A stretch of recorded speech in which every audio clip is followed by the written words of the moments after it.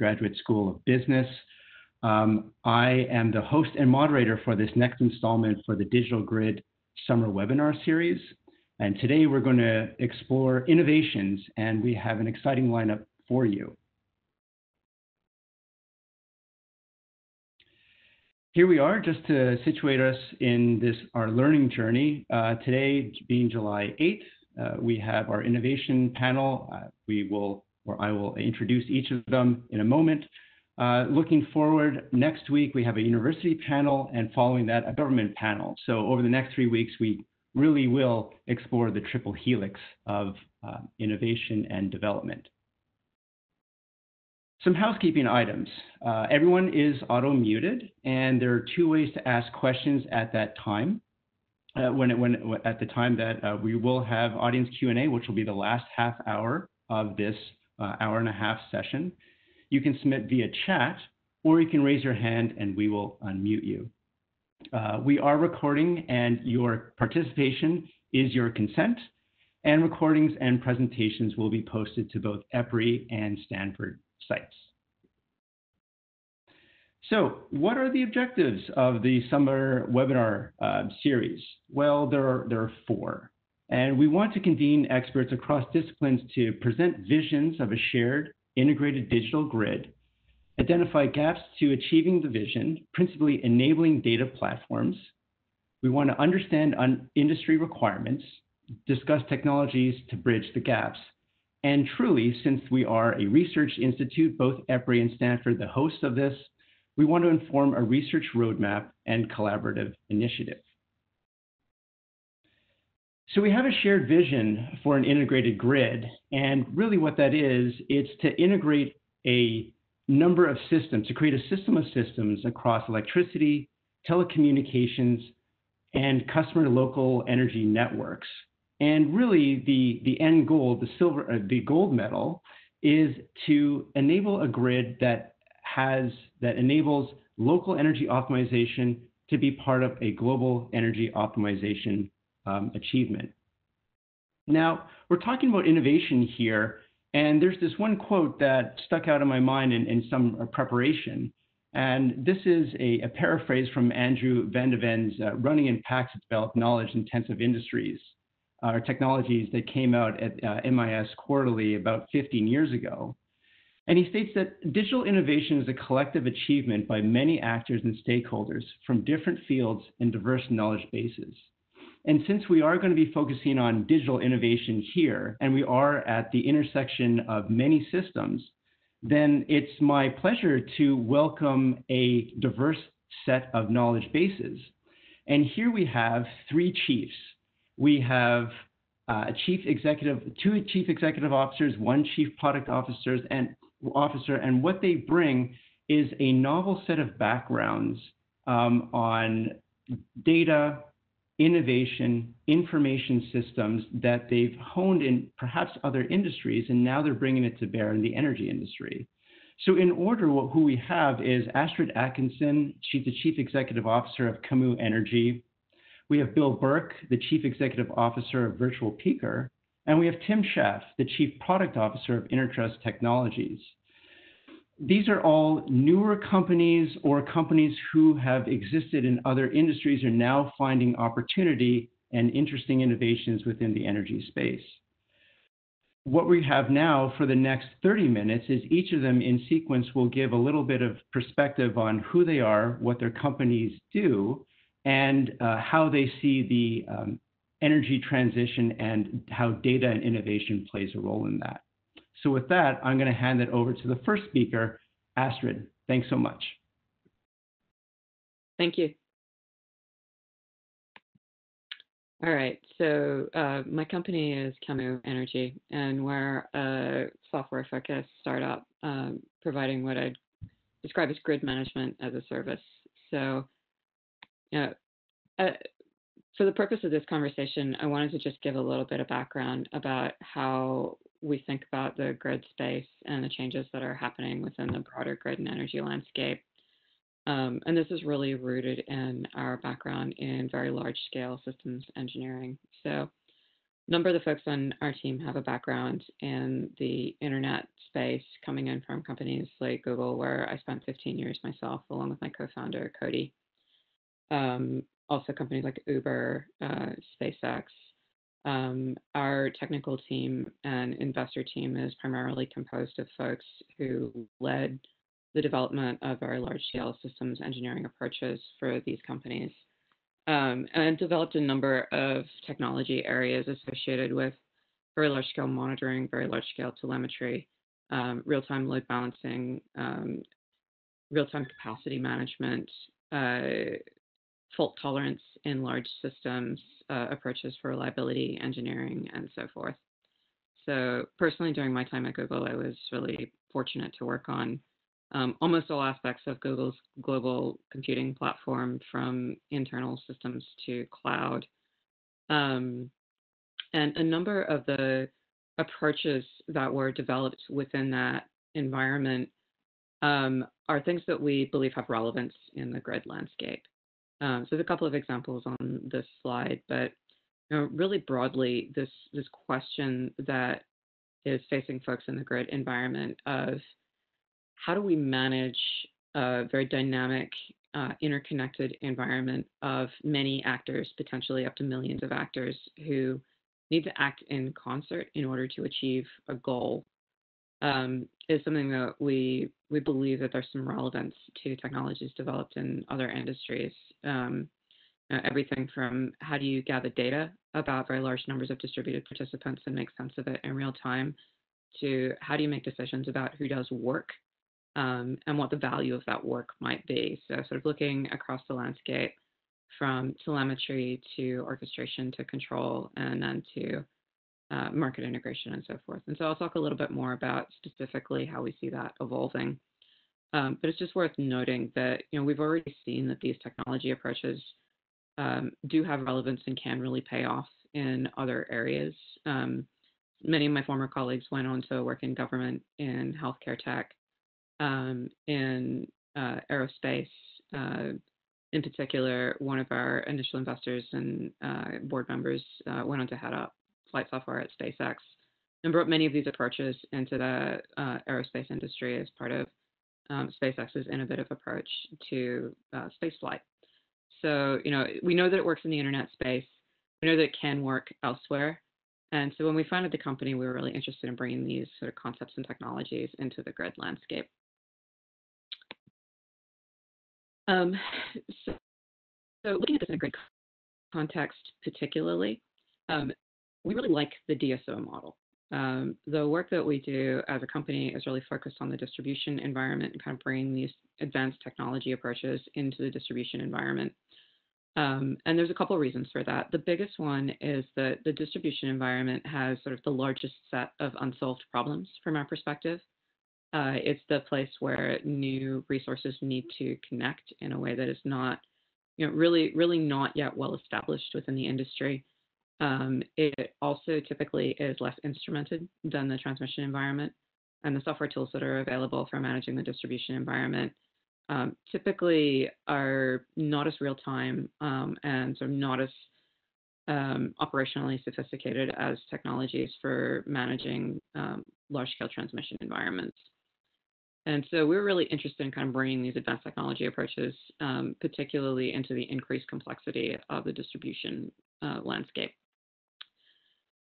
One of the things that um, you know I think I personally learned over and over within other large-scale systems environments is that if you want system-level behavior, there needs to be some component, some system, um, some set of practices which can provide system-level coordination. And so, at its heart, when we think about the transition that needs to happen within the distribution environment, um, this idea of empowering distribution operators or you know, some combination of retail energy providers, um, gentailers, et cetera, folks who are responsible for managing this landscape um, with tools to take on proactive management of the assets within their landscape, to reason about them, to help them to work together effectively um, that's that's kind of what we see as the heart of the future distribution operator role. Um, and the, the concept of a DSO, really kind of creating a distribution operator that has the capabilities um, and you know, some of the responsibilities um, that we typically see with a TSO or an ISO today, like kind of the, the heart of how people talk about that model. Um, and so concretely, there's a couple different things that we mean when we talk about the DSO. It's probably just worth um, going through those briefly. Um, and this uh, this this view of the DSO is really derived from other work within the industry. So, you know, as we were thinking about how to engage effectively um, with system transformation in this space, we were looking to existing research in the space and existing um, thought leadership in the space. Um, you know, everything from kind of New York Rev and the, the New York Rev ex- explorations of the DSO model to work done by Lorenzo Kristov on distributed hierarchical control and kind of looking at market transformation in the California context. Um, and so we've, we've kind of synthesized a view of what we believe the DSO to actually be, um, which underlies a lot of our approach in this space. Um, and so, you know, really see the DSO as having three primary responsibilities. Um, one of them is systems operation, real-time network operation. So really being responsible for the health of the network and for integrating capabilities in a way that is network supporting and can respect the constraints of the environment that it's operating within. Um, looking at resource adequacy, uh, procurement, scheduling coordination, and capacity planning. So uh, managing supply and demand, um, both in a forward-looking way and also in real time and then thinking about integration with markets and pricing structures. So this is probably not terribly earth-shattering, but I feel like it's helpful to kind of set a baseline for you know, concretely what do we mean when we talk about the DSO as an entity. Um, what does this mean in practice? You know, it's it's fine to kind of talk about big picture views of how technology can engage with and transform the grid landscape, but and one of the big issues that I think the industry as a whole has faced is that this is an it's an industry where change is slow, and it's slow for good reasons. Um, it's a, a, a really uh, a critical service. Um, providing electricity reliably is the core responsibility of utilities. It underlies you know, kind of every aspect of modern life. Um, utilities tend to be conservative in how they manage their grids, and that's because they have you know really core responsibility to their communities and uh, to the entire landscape of sort of fabric of modern society.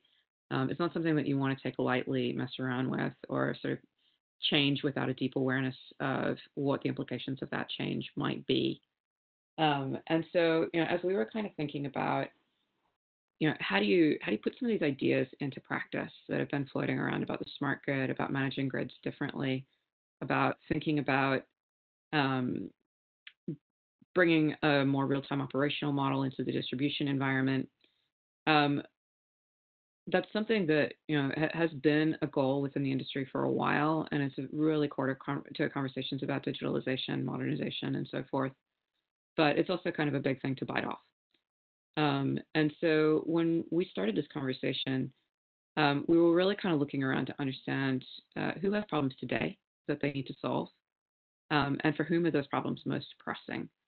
And so, uh, a segment that we got really interested in was the, pub, the smaller public utilities sector, um, where due to a combination of um, customer and stakeholder pressures and some of the sort of dynamics and economics of renewable energy development, um, this question of how do you manage grids in a forward-looking way is really actually um, surprisingly pressing um, to many small communities today. So many of you may be familiar with um, the kind of trends in renewable development, um, kind of all across rural America.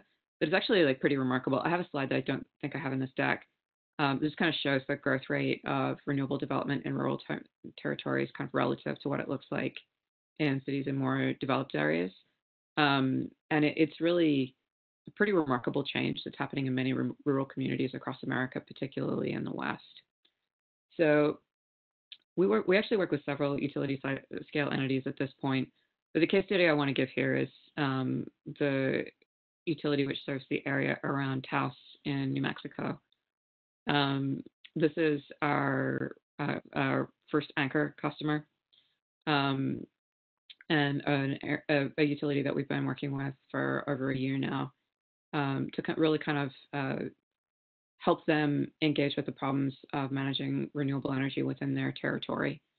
Um, Kit Carson's kind of remarkable. Um, they have a really aggressive set of goals around local solar development. And so their their stated goal is that they would like to get to 100% of their daytime energy supplied by local solar by 2022. Um, they're going to beat that probably by about a year. Um, they're they'll be likely around 85, maybe 95% by the end of this year. Um, by the time they go into sort of next summer, uh, that goal will be exceeded.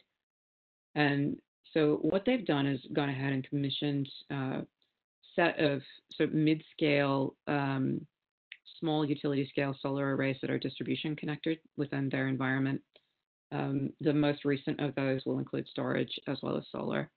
And they have a few motivations for this. Um, one of them is that their community has decarbonization goals, uh, and you know would like to see them decarbonize as rapidly as possible. They have a, a contingent of folks who are very environmentally minded within the area, and are really looking to see what they can do as a community to pioneer this transition.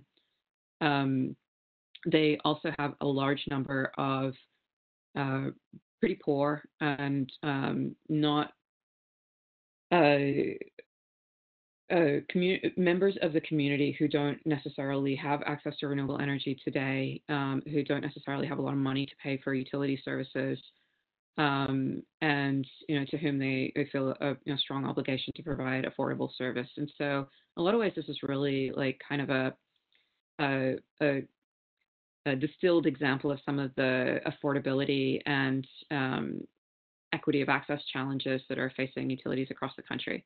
Like, how do you balance the need for decarbonization, you know, with the desire for large-scale system change, um, with the need to keep energy affordable for uh, folks who can't, you know, really afford to pay that much for it? How do you keep rates down while also transforming the system? And so what they found was that the economics of solar in particular really help, particularly in the Southwest where there's a lot of sun. Um, their costs for transitioning to solar are substantially less, um, less than half what they were paying for non-solar power sources, most of which were coal in their area. Um, and so what they found was there was both a really powerful economic driver along with a really powerful kind of um, environmental driver to making this change. So they went ahead and actually commissioned these solar arrays um, enough to get them to sort of 85 to 95 percent, you know, over 100 percent of local um, energy need during the day uh, without necessarily um, sort of taking the, the normal kind of 10 year evaluation and rollout period um, that many utilities do.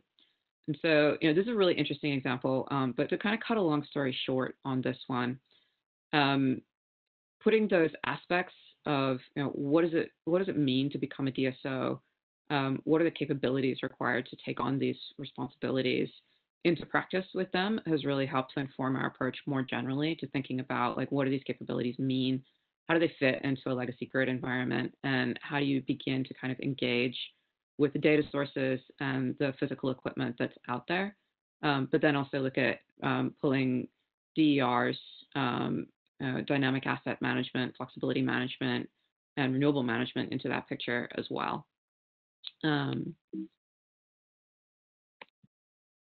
And so there's really three parts to this transition. Um, this is something that we're also going through with a couple of other co-ops, um, which are you know, more recent projects which have started more recently, um, earlier uh, co-op and CCA. Um, but there's really kind of three parts to this transition. The first one, and you know, coming from an operational background myself, um, it, it's really critical to have good, high quality insights into any environment if you're thinking about changing it.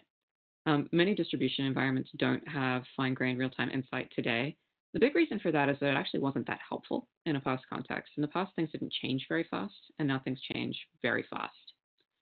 Um, and so, you know, we really view uh, the kind of foundation of being able to effectively engage distributed and renewable assets as um, being visibility. So, beginning with being able to see what's out there, and then kind of pull that together into a picture of what's happening in real time and then use that to inform additional decisions around orchestration, balancing, um, and eventually market integration. So our project with Kit Carson, um, with the other co-op that we're working with um, currently, uh, uh, both of those projects have all three components to them. Um, they're a little bit differently staged. The other co-op that we're working with has a lot of flexibility assets, which we're engaging kind of starting today. Um, whereas for Kit Carson, it's really all about um, being able to effectively incorporate their large amounts of solar into a dynamic balancing model. Um, for the other co-op, they're really looking more to begin with incorporating flexibility into peak shaving and cost management um, mechanisms as a precursor to doing large amounts of local renewable development themselves. Um, and I guess the the one last thing that I would say about that, and I'll move on really quickly because I don't want to eat up everybody else's time, um, is that because they're co-ops, they have a particularly strong motivation towards engaging their communities. So when they think about community engagement, it isn't strictly a financial proposition um, around, you know, is this the cheapest way to procure services? Um, it's more about how do you effectively bring the community into a renewable energy transition model and effectively make use of community procured services um, as part of that transition, both as a way to provide addition, you know, additional services around flexibility and storage and so forth, but also as a mechanism to give folks within the community avenues of engaging um, in addition to existing net metering structures. So the last thing I just want to touch on really quickly is that we believe that this is a transition that goes, you know, kind of well beyond any individual vendor or any individual utility. Um, we've seen in other industries that taking an open source approach and being able to bring an ecosystem of contributors, collaborators towards these kinds of large scale problems be a really powerful accelerator in making change happen faster. And so we are looking to take an open source approach ourselves. We already have a couple collaborations going with external partners, um, but we're intending to uh, open source a good portion of our platform, beginning with a release later this year.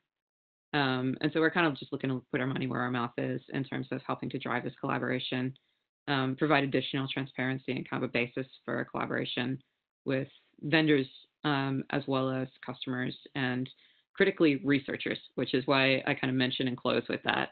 Since part of the ask here was sort of how to how to drive collaboration with the research community.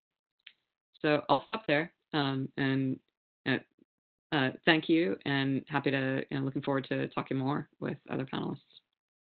Um, I just kind of skip past this and pass it on to Tim. Correct? Bill. Thanks, Astrid. Bill, Bill, you're up. All right. Oh, it looks like I'm now the presenter. Uh, yeah. Let me know if you can't hear me. Good? Yep. All right. So I'm Bill Burke. I'm the founder and CEO of Virtual Peaker. So I, I, the mission in Virtual Peaker is to help drive the adoption of renewable energy and large scale electrification uh, by helping utilities with the with the problems that those things uh, inherently bring about. So what sort of problems are there on the horizon for the next, let's say 10 years for utilities? So, you know, the first thing I think we all know is uh, renewables, especially rooftop solar, like distributed energy renewables, uh, really eat away at the utility's core business, which is selling kilowatt hours. That means that the revenue is going down. It's flat or going down. Um, the second thing is that it makes it makes their job a lot harder because the renewables create uh, intermittency that wasn't present in the in the previous generation of the grid. So their job gets a lot harder keeping it in balance. The next thing is that uh, things like EVs are, are going to be a huge part of the future in America and across the world. And those offer their own operational problems when the solar's going down at 6 p.m. in the winter, everybody's coming home to plug their EV in. How do you deal with a, a, effectively a double ramp, a drop off in generation and an increase in demand at the same time? The ramp rates get get uh, amazing, but the good thing is that's going to drive their revenue back up because they're selling kilowatt hours again. But so again, operational issues, but but they don't have a great way to monetize that yet. The the selling kilowatt hours is not the best way for, for utilities to potentially move forward in in the future. Uh, you know, and they're starting to think about other new new ways, new business models, if you will. And the third is really uh, a bunch of a bunch of companies coming for the utilities customers. So what I'm talking about there is companies like uh, Arcadia Power, companies like Sunrun that really want to be the front, companies like Google, companies like Amazon that really want to be the front end of the customer interface. And so if you look at a utility that's their job's getting harder because the operational issues, the revenue is potentially going down because they're not selling kilowatt hours anymore, and they're losing potentially losing their customer. That's a potentially dark world for utilities. But we believe that the utility is the most efficient way for us to electrify America and to bring on large scale renewables. Uh, so what Virtual Peaker does, I'll get to uh, you know some of the details in a minute, but really uh, what we're doing is helping utilities with all types of internet connected products, DER sort of generally, water heaters, batteries, thermostats, all those devices. And we're really helping them along three core uh, areas. So the first is reduce operational costs. How do they control their grid in a way that they've never had before so that they can really dial in those costs?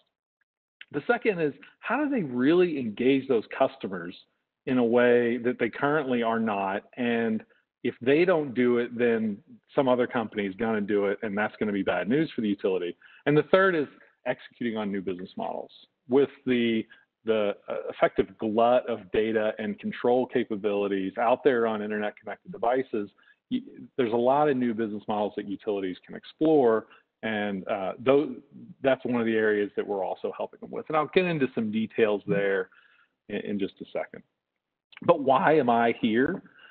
That's a great question. So who am I? Well, for one, I'm a uh, seasonal beard wearer. Uh, that's that's one thing I am, but I'm also a PhD from UC Berkeley. I uh, I was at Berkeley uh, starting in 2005, and in 2006, we my the, the team I was on wrote the first programmable communicating thermostat software. And this predates Nest, it predates Ecobee, and it sounds absurd today to think that the thermostat manufacturers were telling the California Energy Commission that they couldn't create a communicating thermostat. And the California Energy Commission said, yeah, yeah, I'm sure we can. Let's give some researchers some money and let's have them make one. So we did. And from there, I focused my dissertation on how do you control massive quantities of thermostats for the good of both the utility and the homeowner. So fast forward a few years, 2010, I'm finishing up my PhD. I'm absolutely exhausted. And I get this great uh, offer serendipitously back in my hometown of Louisville, Kentucky, doing my dissertation work with, you know, a, a great company, GE Appliances. Um, I, I, took it and had a great ride there where I worked on energy management across the whole home. So water heaters, refrigerators, basically everything. How do you control these guys from the grid? And then jumped into internet connected products. And I was effectively the product owner on the APIs that they use today, giving me a great background in uh, how, how these devices actually connect. So one little tidbit uh, that is sort of a thread throughout my career. In 2006, when I was at Berkeley, we proposed a common port module for thermostats. To, that was our one of the innovations and recommendations we came away with. Um, fast forward a few years, and I'm at GE, and they're using Zigbee. Uh, you know, it's supposed to be the new standard for communications across utilities. Um, then we started using a module called a USNAP module, which was also supposed to be, which was sort of the, the offspring of this idea from uh, that a lot of people have had, but again, we, we also put out in Berkeley. But the USNAP module was a common port module that was 2010 when we did that. Um,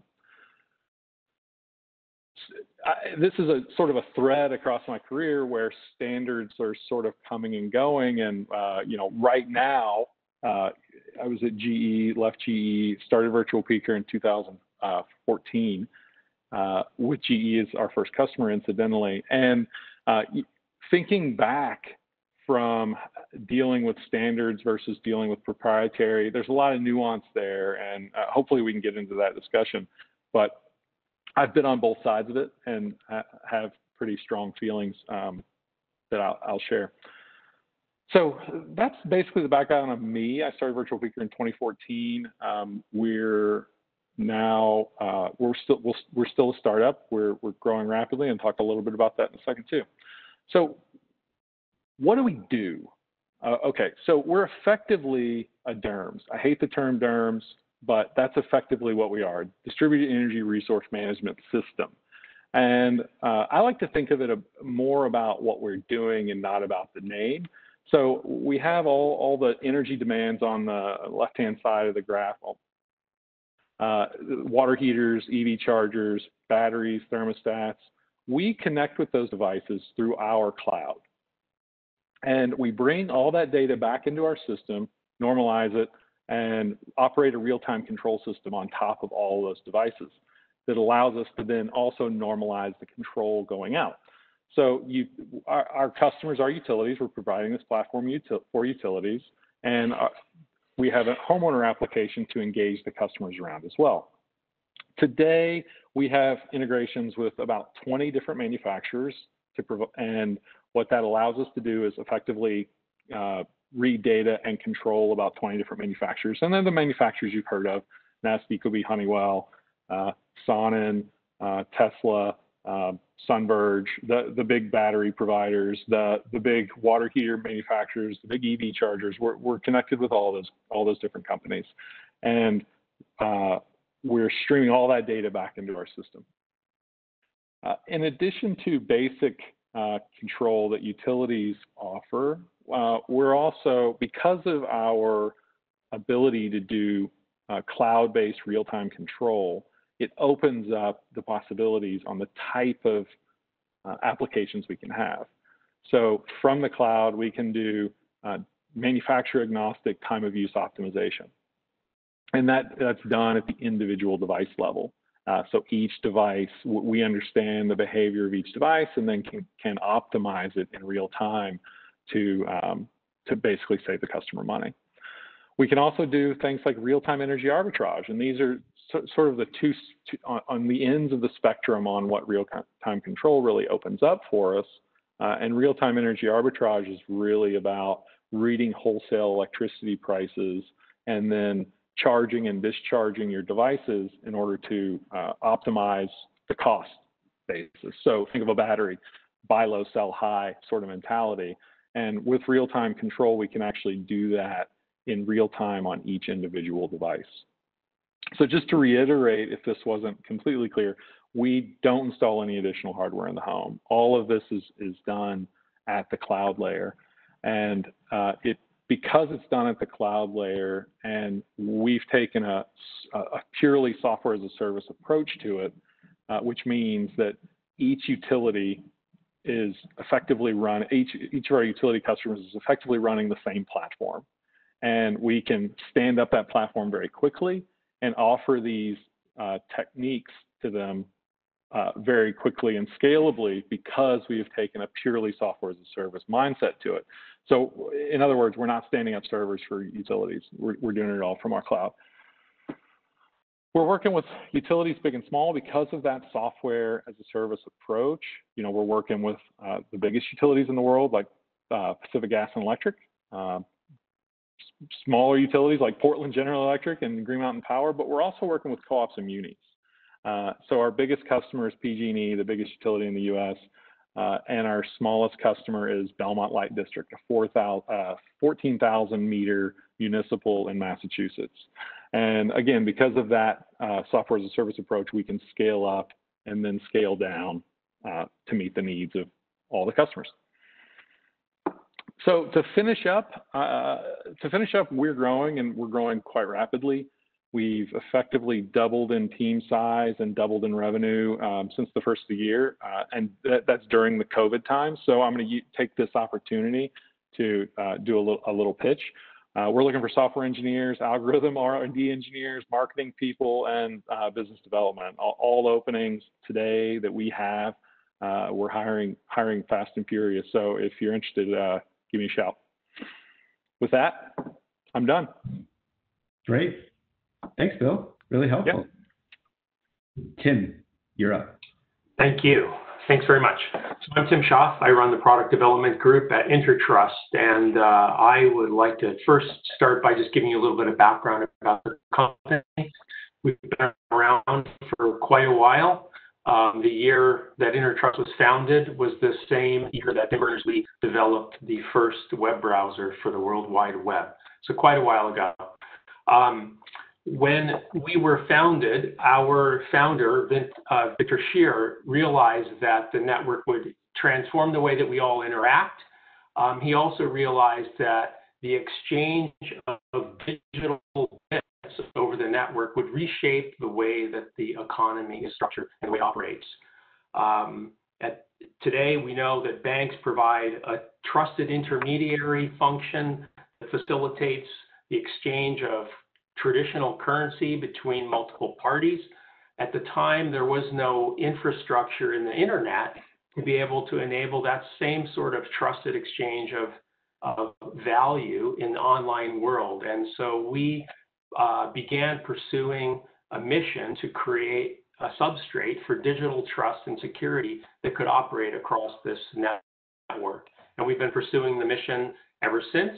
Um, we offer products today that serve the needs of the industry, consumer electronics, healthcare companies, automotive companies, and more recently in the energy domain. In fact, two of our shareholders, E.ON, Germany's largest energy company, and Origin Energy, Australia's largest energy retailer, um, are investors in the company. Um, now, uh, here's a little simple statement about our mission. Uh, I mean, our basic concept here is that data and data will be the, the fuel that powers the development of the internet. Um, the dynamics around the collection, the use, and exchange of data. We call this data rights management. This will be a foundation for building the sort of online trust that's going to be needed in order to innovate and manage the transformation that's taking place across all the different industries, including the energy industry, of course. Um, there are a number of significant challenges that we will face as we try to work with data. I think everybody recognizes that data is an incredibly valuable raw material that can be mined to optimize uh, understand and optimize all aspects of our business operations, our technical operations. Um, it gives us the tool, the foundation tool that allows us to manage in this increasingly dynamic energy environment. But at the same time, data tends to be radioactive. Um, we all are very familiar with the idea, with the challenges that have arisen around the digital advertising industry consumer data rights and the tensions between the two. Um, and we all can see every day the problems that come from throwing personal data around without adequate regard for privacy and security considerations. Um, in the context of the energy industry, you know, we've we've got to come to grips with this challenge. Um, obviously, businesses that are using data and sharing data have the risk of unintended exposure of their trade secrets to other companies intentionally or unintentionally, uh, and the risk of data leakage through the supply chains. Of course, we are all looking at increasingly complicated uh, regimes around uh, data legislation, uh, consumer data legislation, regulator compliance requirements related to the use and protection of data, in many countries, we're, we're seeing data residency requirements, data sovereignty related uh, obligations. This means this data can be used only if it remains in the country in which it is in, it originates.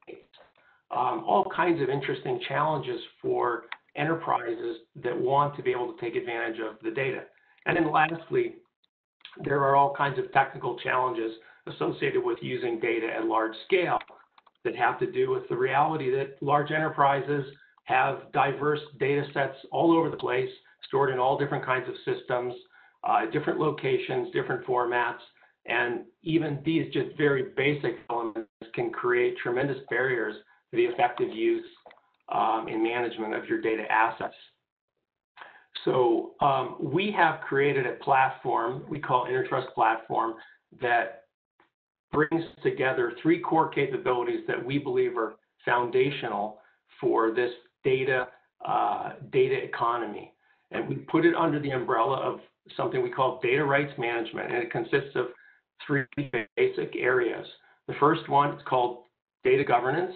Um, this basically says that all uh, all data assets have an owner. They have, um, and that owner should have the ability to control who has access to the data, how the data is used, and that access control should be implemented at a level that's a finer grain level than simply saying, well, here's a database. I either give you access to the database or you don't have access to the database. It needs to be at a much finer grain uh, level of control. And for all of the reasons that I mentioned earlier about the risks associated with data leakage, exfiltration of data unintentionally, the, the platform um, provides this policy-based control over the data rights, but it also provides a secure record of all of the transactions that take place in the platform so that you're able to uh, comply with all legal requirements so that you can uh, understand what's happening inside of your environment so that you can manage the security issues. Um, and so that's a very, very fundamental part of the platform. The second piece really addresses some of the technology issues around bringing different data sets together. Um, we we have a capability in the platform that supports uh, data virtualization. What this really means is that we can provide a very simple interface that allows you to bring together elements from different data sets, different databases, um, without having to do much more than uh, provide a URL, maybe some access credentials, and the system can automatically begin to blend data from these multiple sources without requiring that the data be copied. Um, and when you think about data security and the data management challenge that enterprises face, one of the biggest risks is the risk of un, un, unmanaged copies of the data flying around inside the company and potentially outside of the company. Once somebody makes a copy of a, of a sensitive data set, you have lost control of that data set. And that exposes the company to all manner of, of risks. So the idea around virtualization is number one, make it easier for data workers to get access to the data wherever it lies. And number two, to be able to minimize the amount of data copying that's required in order to do, especially in order to carry out these earlier stage explorations that are seeking for where are the places where their data pre presents the most value. And of course, we try to do this in a way that will provide a simple interface for everybody downstream who's working with the data. The last element of the system provides a capability we call secure execution. Um, we don't just look at the data, we want to process the data. We want to extract insights out of the data. We've built a system that allows you to bring your analytics to the data, allows you to engage the capabilities of even third-party analytics companies, bring that capability to the data, but ensure that the operation of those algorithms, those analytical tools, doesn't uh, precipitate a leak of the data. So the idea is the data basically operates inside of a protective sandbox. I mean, the, the software operates inside of a protective sandbox that ensures, minimizes the risk of data leakage which we think, again, is very fundamental. If you can't control where the data is going, if you don't understand who has access and what they've done with it, your companies will be constrained from being able to use data at the scale that it, that it could be. So lastly, I just want to tell you a little bit about a project, one of the projects that we've been working on that's uh, relevant in the energy space. This is a collaboration that we began three, year, three years or so ago with Germany's largest grid operator called Westnetz. They're now a part of the E.ON company. Um, and we worked with a, a, a, team inside of the Westnetz group uh, called DigiCo, Digital Cooperative. The basic challenge that these guys were uh, interested in trying to solve was how can we create a planning tool for municipalities and grid operators that will enable them to manage the substantial risks that, and challenges that all of them are facing today. Germany has over 12,000 municipalities. There are more than 850 individual distinct DSOs operating around the country, 850 plus grid operators. It's kind of a crazy, uh, crazy uh, example of diversity in, in, in, across that company. after the earthquake and tsunami uh, that caused so much trouble uh, in Fukushima in Japan in 2011, Germany mandated the elimination of nuclear power through their out of their energy portfolio. You know, nobody knows how that's all going to play out. Obviously, that's a very complicated uh, operational challenge, but that's been mandated by the government. They've also mandated the fairly aggressive timetable for the elimination of the country's reliance on coal.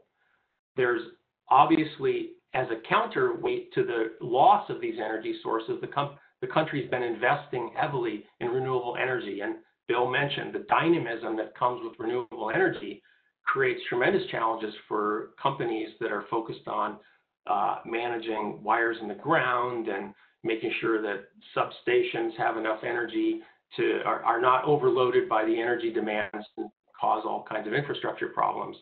Um, in parallel with the, renew- the growth of renewable energy, we are also, of course, seeing the growth of electric vehicles, which present not only new sources of demand, which maybe are good, as Bill, as Bill pointed out, uh, they can help to add new types of uh, customers for the energy products, but they create a, a new kind of dynamism in that demand. The energy demand is moving every every time you look, it's in a different place. These are tremendous challenges, and of course, municipalities, politicians um, are facing increasing pressure to address the carbon footprint of their societies. Um, these are massive transformations. The DSOs, the municipalities facing tremendous challenges, and there's billions, literally billions of dollars being spent each year trying to upgrade the grid. How do you know where to spend the money? So we worked with uh, the Westnetz team, E.ON, Digico, um, to bring together grid and municipal data, real estate data, data about the homes, the property ages, the size and shapes of the roofs uh, that might relate to the ability to use solar energy, um, configurations of garages. In Germany, lots of people buy electric vehicles and then just plug them into the outlet on the in their garage. It creates incredible challenges for the grid because these are these are demands that just pop up from one day to the next. There's no registration required to be able to make those changes. Um, we brought together demographic data that speaks to the income, household size, other considerations like that. And the basic concept was to create a platform that could be offered to all of the municipalities. I mean, some of these municipalities, some of the DSOs, most of them are actually quite small. They're not in a position where they could make an investment um, uh, of the scale to bring this kind of an information system together all by themselves. And so, working with um, Germany's largest energy company, we've created a platform that allows them to safely bring their data to the platform and combine it with the data from these other sources, commercial sources and public sources, to be able to see what's happening, to be able to do planning around their own EV charger investments, to analyze the potential for solar, uh, to engage in better conversations with consumers about how their energy use uh, is affecting uh, the grid, how they can manage their costs, how they may be able to participate more actively in these new energy opportunities. Today, the company Intertrust is governing and securing uh, about 80% of the German medium voltage grid data, about 60% of the German low voltage grid data. Um, so we've we've gotten a lot of experience managing these kinds of data sets. These first uh, applications are very focused on the longer term grid planning operations that are you know having these billions of dollars being spent, but of course, as we move these uh, application concepts closer and closer to real time, we can begin to leverage most of the same assets for demand response, home, and industrial IoT applications, even insurance. There's all kinds of opportunities around the insurance industry for bringing uh, kind of more linearity and more stability into the economics of all of these new energy domains. So this is the area where we're, we're very focused right now. I'm excited to hear more from Steve about the, the questions and, and hear your questions. So thank you very much. Great. Thanks, Tim. Thanks, everybody, for those comprehensive introductions. Um, we are now going to move into the panel discussion. And looking at the time, I, I have only two questions, and we're going to tackle the first one now. And, and that is you, you each uh, paint um, a slightly different um, vision um, for, for the future. You tackle different challenges in, in, in specific ways. Uh, the common thread, obviously, is, is data, the use of data to make better decisions, higher quality decisions. If we're thinking about innovation, you know, innovation really is um, a, a, complex combination of, of organizations, people, and, and technology. So, with that in mind, I, I wonder what needs to be true both at the technological layer and at the organizational layer for the value propositions that you have uh, at least articulated, what needs to be true for, for that to, to actually happen? Um, what existing systems need to be there? What mindsets do you need from your customers? Uh, all your customers in this case are, are most likely utilities. What needs to be there for, for you to really start engaging meaningfully um, to, to roll out some of the greater visions that you've, that you've painted? And I'll start with, with Astrid on that question. Yeah, I mean, I think from our perspective, it's motivation um, is really the biggest question. There are a lot of practical barriers to innovation in an existing environment. It can make things really tough. Um, you know, everything from kind of data provenance to comfort with cloud-based models, these kinds of things. Um, each of which can be really difficult to work through individually. Um, and so what we've found is that if an organization is highly motivated with a problem that they want to solve that's really important to them from a business perspective, whether that's like business model for a utility that's facing a drop off in um, you know, rates through existing um, business model structures or um, really you know really deep concern about system stability um, in the presence of lots of solar. Like there's a lot of different motivations that will come in, um, but it tends to make all other conversations flow more smoothly when there's actually a problem to be solved as opposed to kind of a you know maybe a forward looking awareness that change will eventually need to happen to somebody but maybe not today. Um, it tends to just be like kind of a motivating function. And from a and, and just to, to to to go back is there something specific at the technological layer? Because you your your solution plugs in at so many different levels. Um, is there essentially a baseline set of, of receptors, technological receptors, data receptors that need to be there um, for you to, to gain traction? Um, our approach is really just integrative, right? So it's all about like asking what's out there today and then pulling that together and beginning to make use of it. Um, there is a minimum set of data that is really helpful. Um, some, if you want to do real-time management, some form of real-time data whether that's from the system, from smart metering, or from the devices themselves, is kind of required. Um, but we're pretty agnostic as to data source, and I think that you know from a phil- from a philosophy perspective, um, if you're kind of asking the question of um, what is the most effective mechanism for driving change within a very large scale existing industry um, with a lot of heterogeneity from kind of organization to organization and technology to technology. Um, one of the really important um, attributes for anyone who's looking to innovate in that space is being able to work with what's already there.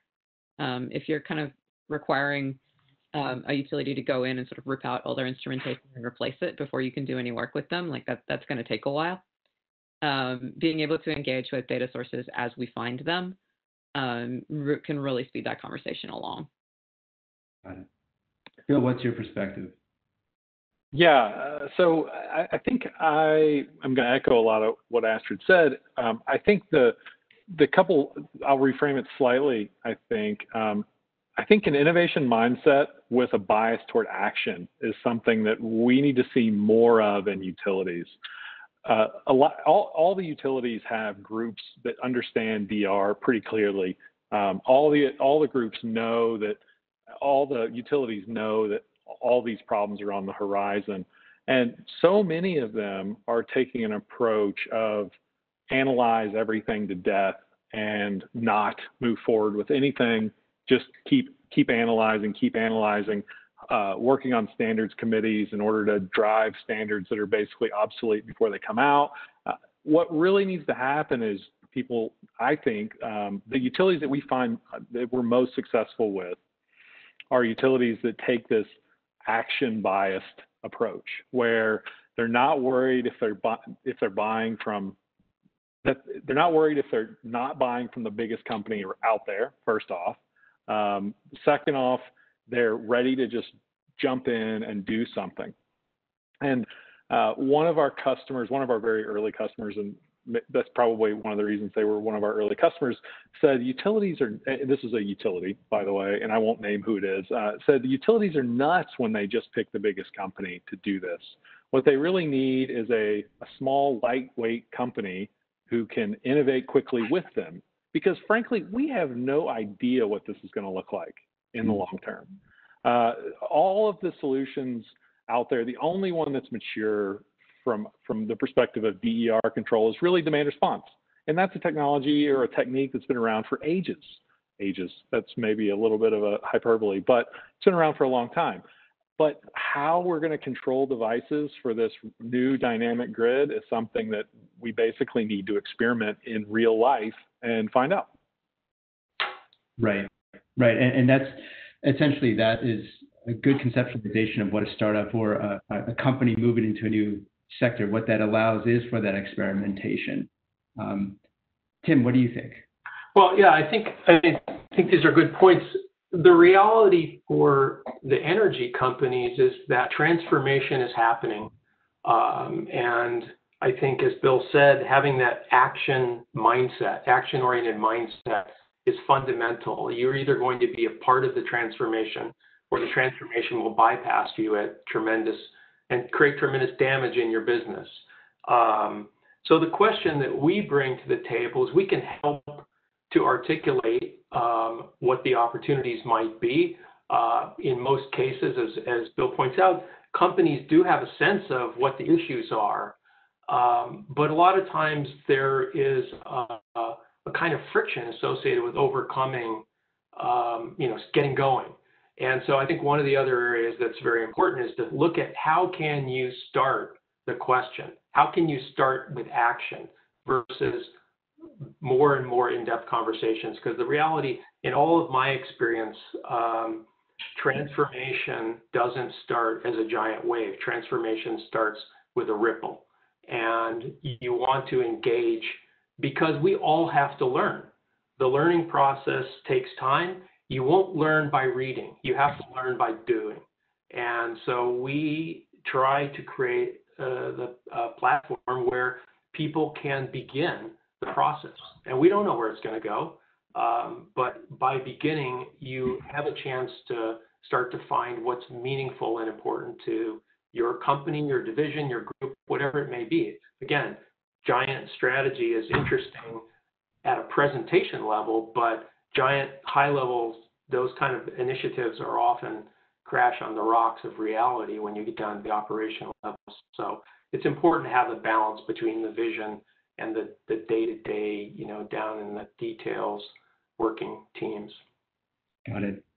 We're going to transition to some of the um, audience questions that they're now starting to stack up. But before we do, um, thinking uh, or understanding that we are a research organization, we are a university. Um, how might the research community help you um, with thinking more on um, the way that I'm thinking about this is more on the technology side or, or your solution development. Um, it could be something else, but at least thinking about what a university or a research organization can help you with. Um, what might that be and, why? Um, we'll go in the same order. Astrid, what do you think? Um, so we're really excited about collaborations with research organizations, and we see a couple of a couple of both opportunities and challenges in that. One really big issue that many research organizations face, and this is notably not true of EPRI, but it is for many universities and like DOE labs, um, is limited access to real world utility data um, and utility systems to work in and with. Um, and so, you know, there's a lot of really great work happening on the research side, but there's this big barrier to getting it out into the field. And in particular, I think successful innovation really needs to be part of an iterative loop. Like, um, you know, Bill mentioned kind of bias to action and willingness to try things out and see if they work or not. Um, for research organizations, they really need the opportunity to do that in order to, I think, really effectively advance the work that they're trying to do. And so, you know, one of the things that um, we were thinking about um, when we were thinking about like you know, open source strategy and um, engagement with the broader community was this idea of being able to more effectively engage the research community, mm-hmm. uh, potentially draw some of the you know some of that really promising work more quickly and more iteratively into the field, um, and potentially allow um, folks to begin iterating in you know, more real world, more utility facing environments. So, you know, concretely, um, what we do with that is uh, look to pursue you know, joint partnerships around um, grant applications and stuff like that today. Mm-hmm. Um, but we're hoping to provide a more um, fluid uh, collaboration environment as we move forward, um, you know, partly through the open source approach. Um, but I think it's really underleveraged today. It is very hard to get stuff from research into the Got it. Um, actually, you bring up a, um, something I want to explore based on you know your experience at Google and, and Tim, your experience say at Apple and Sony, and, and, Bill, your experience in GE. Are there any models that um, come to mind that could help um, tighten the the feedback loop to to create this greater fluidity that that Astrid's talking about? I mean, can I say yes, something? Yes. I mean, I, I mean, I think you know, I think all of us are aware that the phenomenon of Silicon Valley was in fact that sort of uh, corporate uh, academic partnership kind of a model, and I think um, that is has historically been less common in other areas around the world, although that's obviously changing. And I think a lot of it is, again, it's a bit of a mindset issue. Um, we don't, we are not, we have data scientists, we have the ability to develop applications, but that's actually not our focus. And we would love the opportunity to engage with domain experts who want to bring to life uh, the data science and the application capabilities uh, against the data sets that our customers are bringing to the table. And I think part of it is this, this question of how do you facilitate that conversation. I know in, in this example that I shared about the um, grid planning project with the German energy company, they're very engaged with universities around their home area. This is uh, in the Essen, Düsseldorf, Cologne area, northwest uh, Rheinpfalz in Germany, they they do engage with the universities specifically because they bring to the table kinds of expertise um, that simply doesn't exist in an energy company that is, you know, maybe primarily focused on the operations of the business. And I think that, um, you know, in addition to a, uh, an action bias, Bill calls it, um, you need to have that kind of curiosity that says what would be possible. And I, I think we're at a great place these days because there is tremendous hunger, hunger in the academic community for access to the data. Uh, the energy companies are would love to do that, but they're terrified about what it means to share data. There, there are all kinds of struggles there, and so I think there is some interesting opportunity at the intersection if we can demonstrate that there are ways to collaborate around data without losing control of the of the situation. That's sort of our focus. Bill, what's your what are your thoughts? So I'm going to back up maybe half a question and, and talk about how uh, how we think collaboration with research can can go. So you know what we try to do. Uh, we have a uh, a current partnership with EPRI on uh, a project, and so we tried to. Our our solution is commercially available. Like it's not really in the research phase, but what, but it's uh, like I indicated, the the possibilities are really, to use a trope, endless on what we could do with distributed energy resources with the utility. And nobody has all the use cases worked out. So partnering, we like to partner with organizations like EPRI in order to figure out those use cases uh, a little bit better and partnering with uh, a research institution on potentially applying uh, though some um, control strategies specifically uh, is something that we'd be particularly interested in. And, and I, ha have to say, you know, the number one thing we need from universities is to keep churning out great, uh, great people who are interested in this field. And um, that's that's probably the number one thing we need from you guys. um, how about we, in the interest of time, why don't we move on to the audience Q and A? And I got a, a few. This one, this one looks pretty interesting, at least in my mind. And I'll, I'll read it to you, and whoever wants to jump in, jump in. Um, and the question is, um, as we move to a more distributed and digitized grid, there are many things that could be monitored or controlled. What should be? Uh, everything. Um, I, I, think like uh, one really important distinction to draw to begin with is um, the, question of what you want telemetry on and what you want to incorporate into uh, operational data environment and be able to use to make decisions um, is a different question from the question of what you want to control directly. Um, I think you know all data sources are interesting from uh, from an insight perspective. Uh, if you really want to understand what's going on, um, you know, one thing that is extremely helpful is to have multiple data sources which you can use to cross compare against one another. Um, this is an approach that we use really widely in the kind of large scale telemetry space um, across industries. So this idea that um, measuring from multiple points in multiple subsystems, correlating them and drawing conclusions from gaps and differences is a really powerful tool to develop more robustness in your monitoring and telemetry views. Um, can usually tell almost as much from places where data sources disagree um, mm-hmm. as places where they agree. Um, and you know, that that in and of itself is very helpful. Um, there's a number of sources of both data and control points available in the wild. We typically distinguish between ones that are um, basically utility owned or utility controlled versus third party owned and third party controlled. Um, and I think like there's there's maybe a lot more to be said about uh, control strategies um, between the two of those and which span the two of those. Um, but what I would say is that pulling in data from as many as possible uh, mm-hmm. provides a more accurate baseline of a picture from which to draw control conclusions on. Um, in terms of control, uh, being able to affect both grid-facing uh, devices as well as third-party devices does more flexibility in terms of control strategies that you can put in place. Um, but I think rather than continuing to talk, I'll maybe let one of the other panelists chat about that. Um, Bill, you want to jump in? Yeah, sure. So I, uh, you know, so, sort of tongue in cheek, I, I, believe privacy and data security are very, very important, and I take them personally very seriously.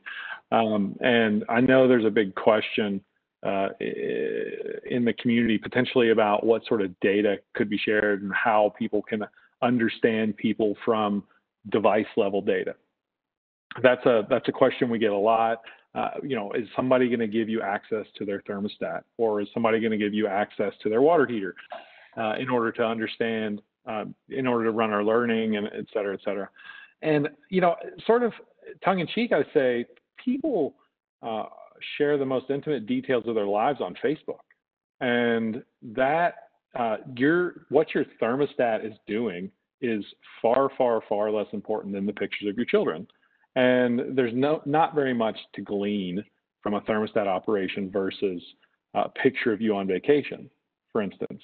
Um, so I think that I think that we need to be protective of our data, and I think all the companies that interface with our data need to be extremely, extremely protective of it. And we, we take data security very seriously, um, implementing all the all the all the safeguards.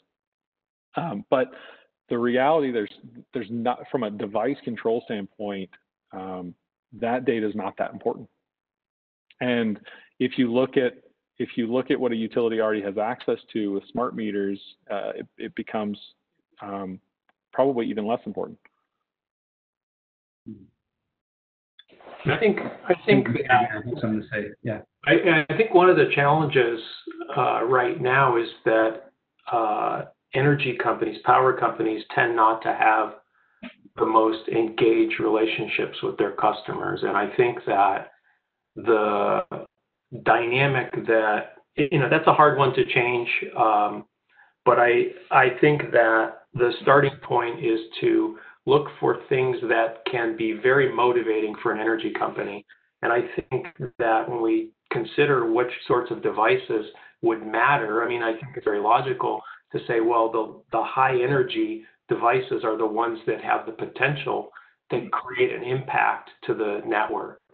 Um, and so I would guess that prioritizing communication and control um, around those kinds of data, those kinds of data, those kinds of devices should be a priority because we're still in the very early days and we need to demonstrate that we can manage a network of these devices securely, that it won't be compromised by some hacker in another country. Um, and these are these are all theoretically possible, but they are not not really proven yet. And I think that until we get some examples of those kinds of networks at scale, it's it's you know it's going to be well it's it's always a, it's an opportunity for the innovators across the industry but i think that's going to be very important so i think a more narrow focus on high energy devices um, that allows the energy companies to see a benefit that allows everyone to get a little bit more confident about the security issues and creates a, a motivation at the energy company to find ways to engage with the consumer a little bit more directly. And then they've got to create some incentives. I mean, consumers generally don't pay much attention to this stuff. Um, and saying that you're going to save a few dollars every month may not be a motivation, enough of a motivation. Bill Astrid, do you want to build on top of that, or do you want to go to another another question? One, one thing that I would just add to the conversation about privacy, um, in terms of looking at data from end users in particular and consumers in particular, is that um, there's a really powerful set of tools that uh, have been developed in other kind of data adjacent domains such as healthcare around differential privacy models. Um, so just taking this idea that you don't necessarily need every piece of fine-grained data about you know, a person or a customer in order to draw useful system-level conclusions um, or you know, train a machine learning model or something like that.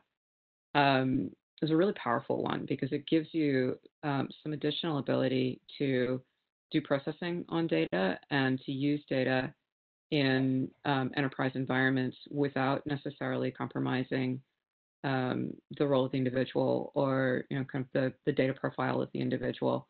So I do think that like as we look to incorporate data, um, particularly about end users, um, that making sure that a differential privacy approach, which takes only the data you need for the mm-hmm. operation at hand, is a really critical component of successfully integrating those sources because you know to the other panelists' point, um, trust is a really important part of this interaction. Utilities often don't have great trust with their customers today, or at least don't have a very close relationship.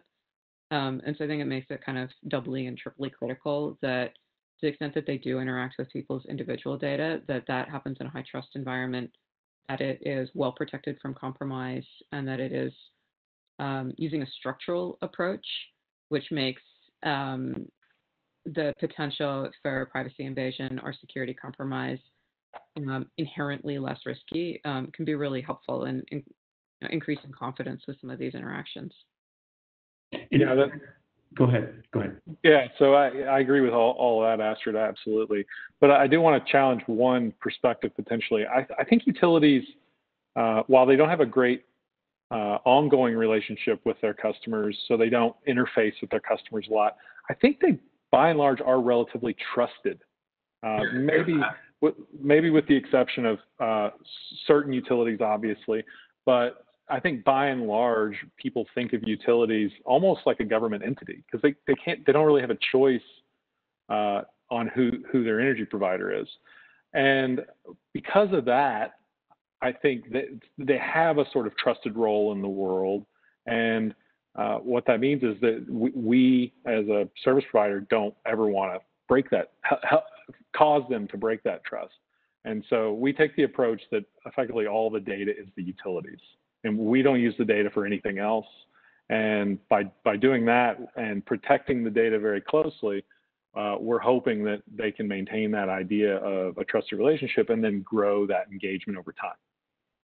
I mean, I agree with that. I mean, I think that the challenge, the challenge that these that the companies are facing is a function of a move toward a more deregulated uh, environment where instead of uh, uh, you know generation, distribution, retail operating in the in inside the box of a regulated monopoly, governments around the world are creating breaking down the walls between these things and saying, hey, let's unbundle these different operations in order to create more competition, more innovation. Uh, presumably, this is ultimately good for the consumers and uh, affords a, a, much more adaptable environment. And I think the reason, yeah, I agree with you, Bill, that energy companies are trusted. They're trusted to deliver energy reliably, with a few exceptions. Um, what they aren't, I guess, what consumers aren't kind of conscious of them as doing anything else. It's kind of like I trust my doctor with my healthcare information, but I don't trust him to tell me what to do with my car, and vice versa. I don't want to talk about my healthcare issues with my car repair guy, even though I'll tell him everything he needs to know about my car.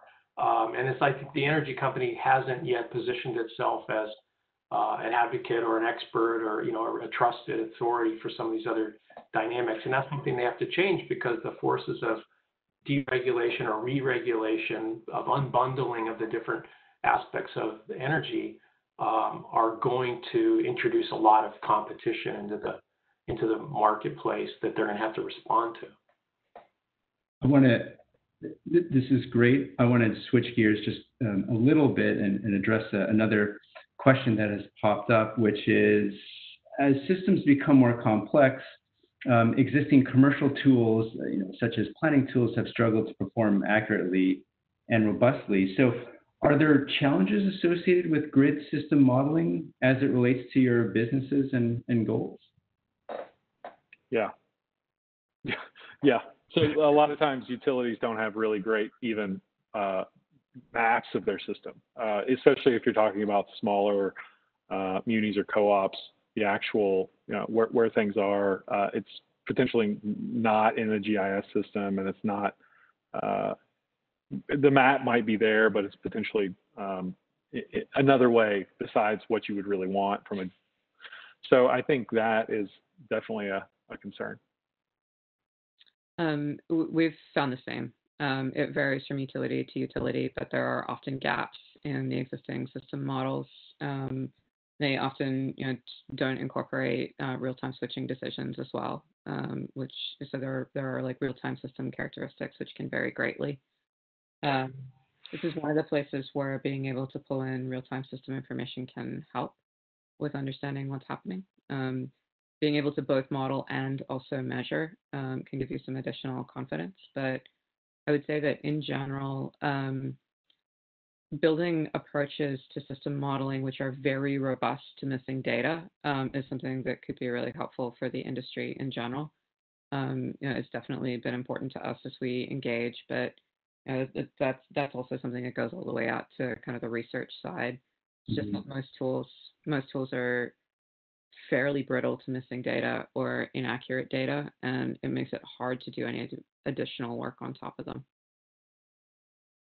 Um, I guess one other thing that I would say about the performance challenges here is that um, I do think that this is a place where the utility and power sector can benefit from um, cloud computing approaches. Now, the cloud isn't just like using someone else's computer to solve your problem. It's also inherently the ability to bring you know, potentially hundreds or thousands of computers working in parallel to very complex problems. Um, and that's really um, accelerated the ability to solve very, very complex problems in many fields. Um, the ability to bring, you know, hundreds of or thousands of machines working in parallel, some of these grid modeling and planning problems, um, honestly, I think could be really transformative. And so that's something where um, there's probably like some really good short-term work to be done in making that more widely available to people. Um, any any high-level tips that you can offer? Because obviously this is somewhere where the you know the world that you you come from. Are there um, certain avenues, specific avenues that that need immediate attention or, or midterm attention um, at a at a greater level of detail? Um, modeling tools that are highly parallelizable um, will be super helpful. Like, you know, um, uh, we use OpenDSS today, which is, com comes out of EPRI, uh, or at least primarily out of EPRI. Um, and it's a great tool. It's very helpful, but it's difficult to run, you know, multiple parts of a grid in parallel. Um, being able to do that across uh, multiple grid components or you know potentially mul multiple circuits, certain parts of a circuit in parallel would be very helpful. Some of these are unsolved problems, and from a mathematical perspective, like it's you know it's kind of hard to parallelize a linear algebra problem. Um, however, there are some really interesting advances in application of like GPUs to these classes of problems in the graphics space. Um, uh, application of things like graph math to reasoning about complex systems, which I think are very applicable to um, know, grid type systems in particular, um, which I think can be really helpful here. So I think those two are both, you know, if you're sort of looking for tips for researchers on where to potentially engage, like I think those two are both really interesting ones. Got it. That's helpful.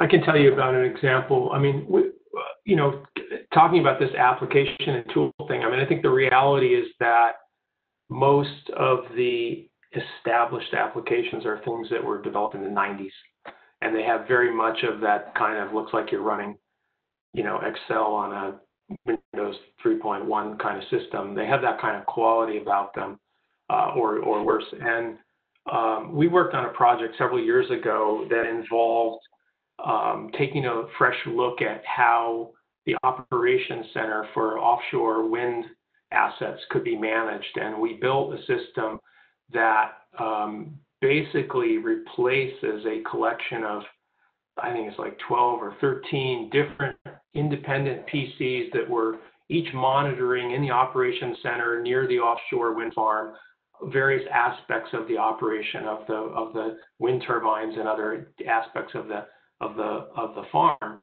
And we basically brought this the data streams together in an integrated form and then built an application using modern uh, modern mobile application development tools that not only did it allow them to bring the relevant data together into a single display, which just makes life easier for the guy at the front line in the operations center, but it um, allowed you to then begin offering views into the operations to people all over the company um, who here, heretofore had not even been able to engage in the conversation because they didn't see, if they saw the data, they saw it in a monthly paper report that was, you know, 60 pages long. It's like nobody's got time to scroll through that sort of thing. And, um, you know, I think that sort of mindset about applying the lessons that we are all living in around mobile technology to some of these problems creates some really interesting opportunities for companies that are trying to figure out how to get started. So, so we use uh, modeling internally for um, one of the big problems that we have is we're integrated with 20 different devices and uh, how do you operate a real-time control system on 20 different devices? If you make an update, do you run it in slow real time, real time, which is, you know, 24 hours equals 24 hours. Um, that's, you know, pretty untenable from a software development standpoint in a lot of respects. So one of the modeling techniques that we're exploring uh, at one of the ones we're using at Virtual Peaker and one of the ones I used when I was at Berkeley before is a technique called software in the loop simulation, where we basically take the software that we're running in real time and we wrap it in a, a digital simulation of the world and then accelerate the time so that you can then uh, you can then make 24 hours happen in 30 seconds. And that's a great modeling technique we use internally to handle all this glut of data. So we're we're closing out um, on our on our time here, and I, I guess the, the, the, question is, um, what will you be working on in six months, Astrid? Uh, so for us, um, we've got uh, projects underway right now which do non-pilot, um, basically full full field deployments um, in a couple locations for both distributed telemetry and also distributed control. So in the next six months or so, um, really making making sure that we can you know, uh, bring effective uh, large scale analytics techniques into those environments um, based on you know, kind of the data foundation that we already have. Um, you know, maybe uh, looking to enhance some of those research partnerships to bring in um, kind of innovative uh, algorithmic approaches in addition to the systems approaches, which we are, you know, pretty comfortable with. Um, so one of our short-term goals is really kind of building out that community. Um, and then I think, you know, on the, the kind of business side of this, um, there's a lot of really big open questions around kind of future utility business model that I think many utilities that are engaged in the space today are looking to address. Um, really beginning to um, comprehensively evaluate and kind of feed into a conversation about what that might look like is a big goal for us. Um, and so, you know, again, that's partly work that we do with customers, partly also engagement with a broader community, kind of driving the conversation forward around like, you know, with additional technological capabilities, what should this business model look like? What mm-hmm. should a DSO model look like? You know, are there um, are there lessons that we want to draw from existing deployments? You know, as this is starting to roll out in the UK and Australia, um, you know, are are there things that we want to pull into kind of a standardized model? Um, that that's a broader conversation that is much larger than just us.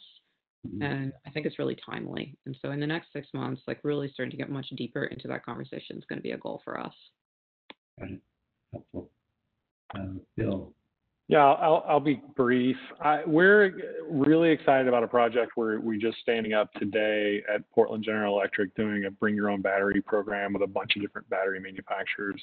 It's uh, it's our second deployment of this type of battery program where it's basically fully controlled by Virtual Peaker.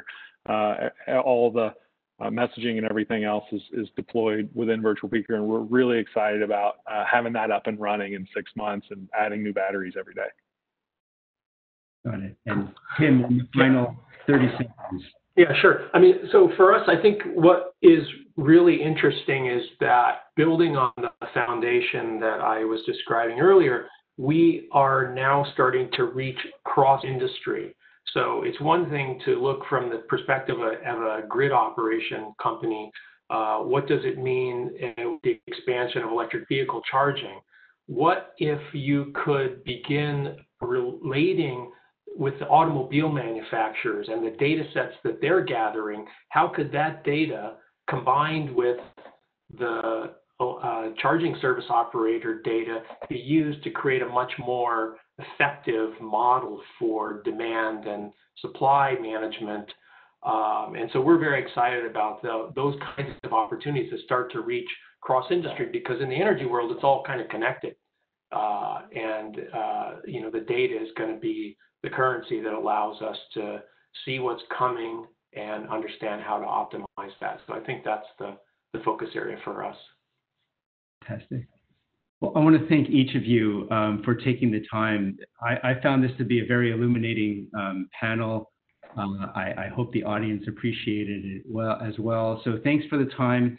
Um, we're going to share all your contact information with the audience. So if they want to follow up with you individually, they can. Um, and I will just end with a thank you And uh, tune in uh, next week where we will have another um, panel on our Digital Grid Summer Webinar Series. So thanks very much and um, have a good day. Thanks, Steve. Yeah, thanks a lot, Steve, for moderating. Great job. Appreciate it. Thanks, everybody.